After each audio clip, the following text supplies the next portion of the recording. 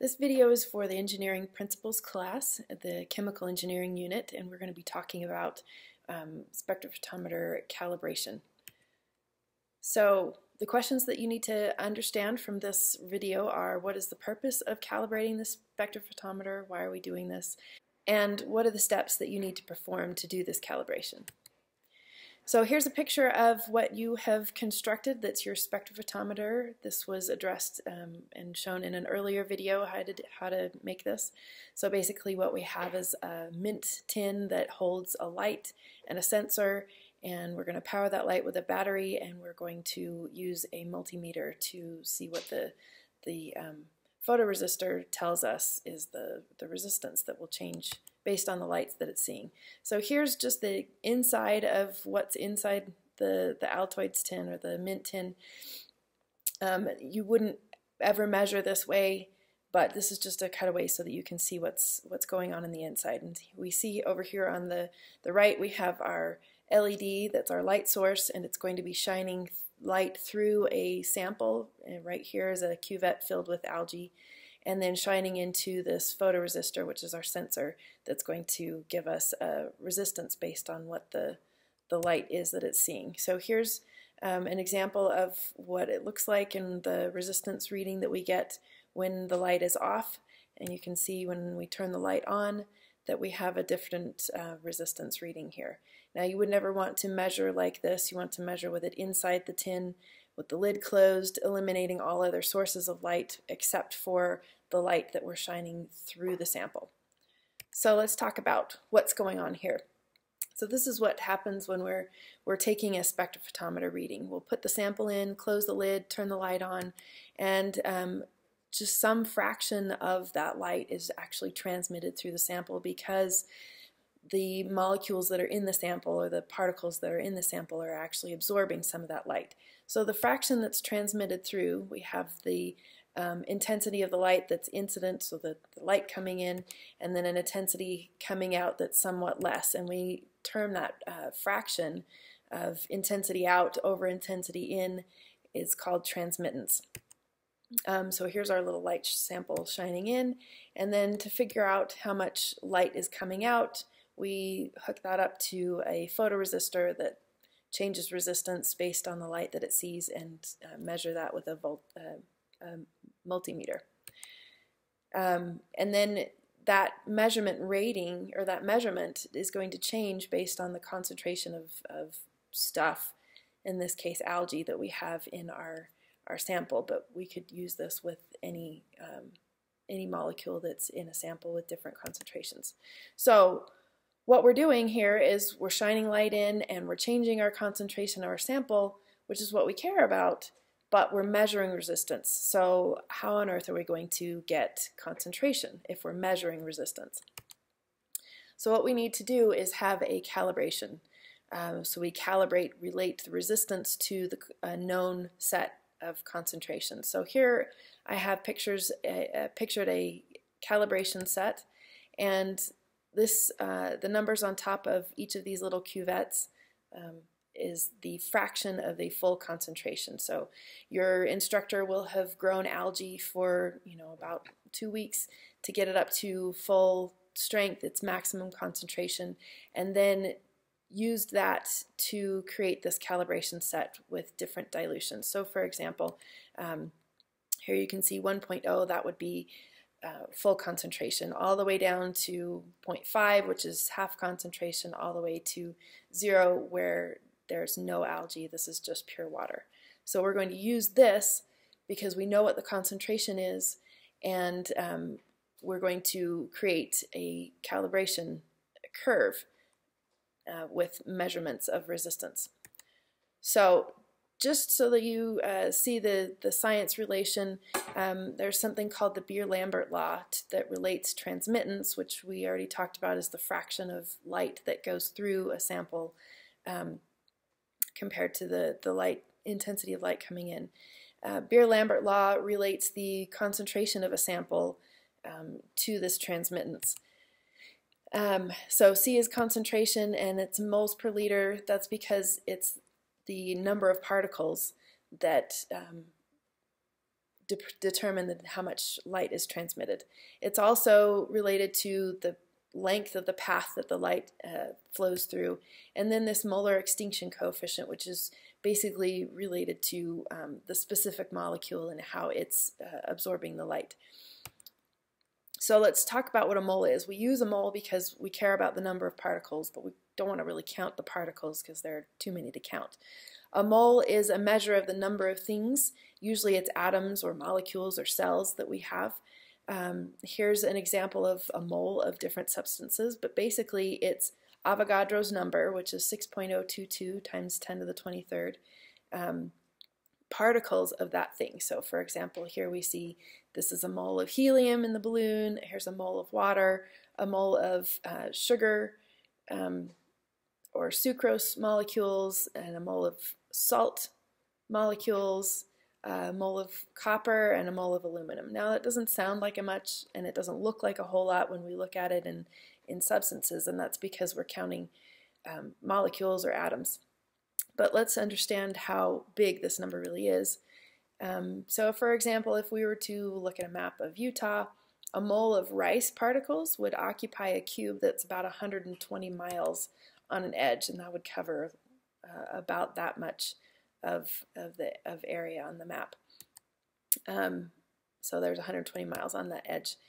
But also, if we were to have a mole of marbles, it would cover the entire surface of the Earth uh, to a depth of 50 miles. So um, the whole Earth would be covered to a depth of, of 50 miles if we had a mole of, of marbles. So it is a really, really big number. Um, okay, so how are we going to relate resistance to concentration? We're going to kind of skip over the, the whole um, Beer-Lambert law and directly relate resistance and concentration and create our calibration curve. So what we'll do is um, we have our calibration set and we'll take measurements for each of those cuvettes and we'll measure the resistance that the multimeter reads for the photoresistor. And right here I just have an example calibration set. We've done the, the, all of the measuring and these are our measurements in kiloohms. We can graph that in a program something like Excel and then we can use a, a curve fitting method to fit an equation to that line. And the equation that we're going to fit is an exponential. Um, that's the, uh, the type of relationship that we see between uh, fraction of algae concentration and resistance. So next we'll talk about the procedures for, for measuring uh, the um, resistance in each of your calibration cuvettes and then I'll show you how we enter this in and, and perform the, the curve fit. Okay, one thing that I've noticed is that the hinges have cracks that let outside light in. So still going to need a little bit of tape to block those out. Just use some black electrical tape and cover them up. Um, make it so that no excess light goes in there. Alright, so now let's uh, make sure everything's working good here. So you want to put it in your multimeter.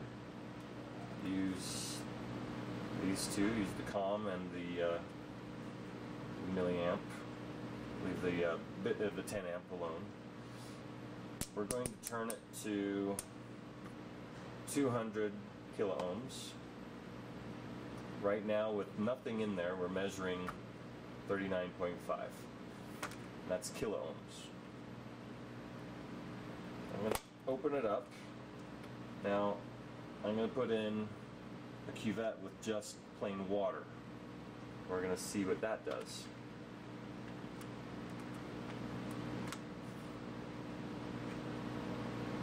Alright, so we got 36.1.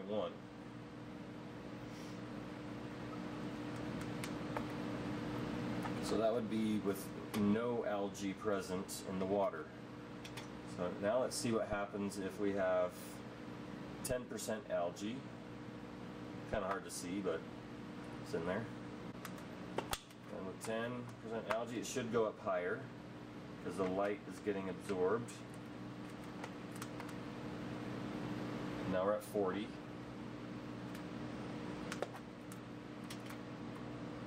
Let's try 60%. It's clean. And the some cuvettes have ridges on them and then clean sides. Make sure the light is going through the clean side, not the ridged side. So ridge is up. There's a little air bubble in there, so tilt the can so that the air bubble is at one side. So now we're all the way up to 77.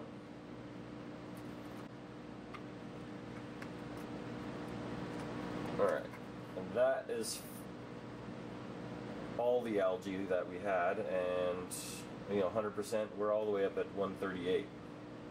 Now, yours will probably be different than this. Everybody's is different, and that's why we calibrate it to see what our specific uh, spectrophotometer reads. Everybody will have to know what their specific one reads for each of the different concentrations of algae. So that's why we go through the calibration process, measure every single one of these concentrations. So each day as you measure your algae, you can always always come back and double check to see if yours is measuring the right consistency for what you have. So now you've done all of your measurements and we're now ready to do the curve fit for our calibration. So I have here a Excel file that either will be provided for you or you can make one of your own. Basically, right here you can see I have a um, column that contains all of the fraction of maximum algae concentration. So just like our calibration set, we have from zero, meaning no algae, to one, that's the full concentration, and all the fractions in between. So for each of those sets, I'm going to enter in the data that I took, the, um, the resistance that was measured by my multimeter uh, when I put the that sample in the, the spectrophotometer and I've already got those measurements and hopefully you do too and you've written them down. So I'm going to go ahead and paste in um, the measurements that I've taken and um, these are all in kilo kiloohms.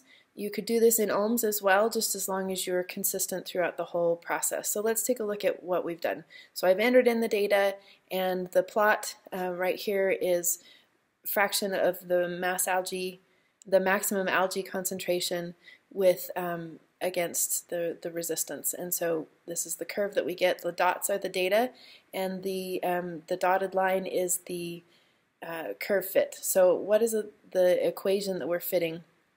We're using this equation here, and it's an exponential equation where uh, resistance is equal to some constant A um, times the exponent, exponential of uh, another constant b times the maximum or times the fraction algae concentration. So um, we're using a least squares fit to fit this equation to the curve and it basically is optimizing this a and b to get a minimum difference between uh, minimum squared difference between the data point and the line. So let's just take a quick look under the hood to see what it is that we're doing. We're using a, on this second tab, you can see all the calculations. These are just being pulled from the other spreadsheet. And this is the these are the, the equations that we're using. These are pulled from um, a Wolfram site, their MathWorld site that um, shows the least squares fitting procedure. And these are the equations for um, calculating the constants. And uh, basically all we're doing is calculating that and then um, using that to calculate uh, a predicted resistance based on a given mass fraction or a fraction of algae. So we take back here, this is what this R calc is. So here are our measurements and then this is the calculated resistance that we would get if we're using this exponential equation with these least squares identified constants. So the next thing that you're going to do, now we have this calibrated, now we have an equation that we are that we know governs our spectrophotometer.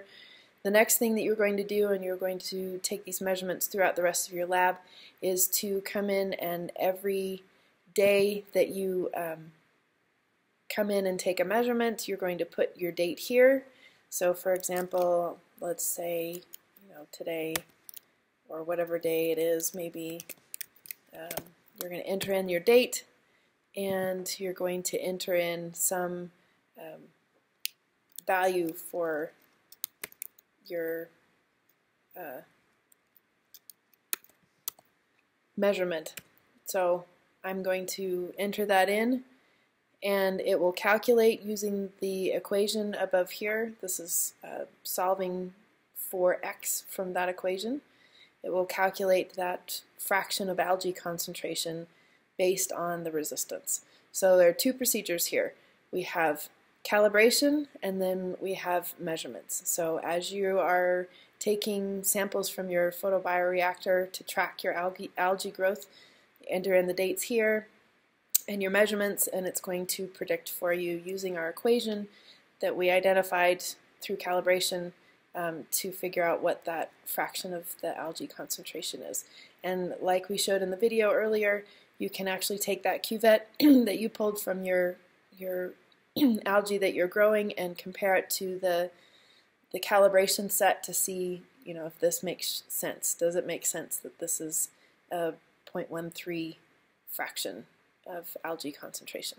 So that's your procedure for calibration and then the next steps for figuring out your measurements of your algae concentration as the, the algae is growing in your reactor.